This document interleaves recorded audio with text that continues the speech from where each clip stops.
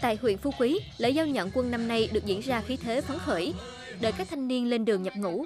Năm nay, theo chỉ tiêu tranh giao, huyện Phú Quý có 51 công dân của 3 trên 3 xã, đủ điều kiện về chính trị, đạo đức, sức khỏe, trong đó có một đảng viên. Đây cũng là điều kiện thuận lợi để tăng binh học tập, rèn luyện trong môi trường quân đội. Tham gia nghĩa vụ quân sự là một nhiệm vụ thiêng liêng. Đối với em là một đen viên của đen cầu sen Việt Nam. Em đã làm đơn xin tình nguyện nhập ngũ vào năm 2019.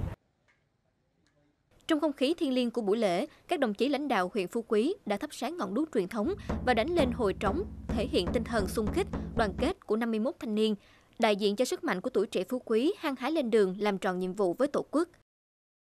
Với khí thế sôi nổi của ngày hội tổng quân năm nay, thanh niên Phú Quý lên đường nhập ngũ trong trường quân sự tỉnh Bình Thuận, huấn luyện học tập, quyết tâm hoàn thành tốt nhiệm vụ thiêng liêng, xứng danh anh bộ đội cụ Hồ, góp phần xây dựng và bảo vệ quê hương huyện đảo ngày càng vững chắc.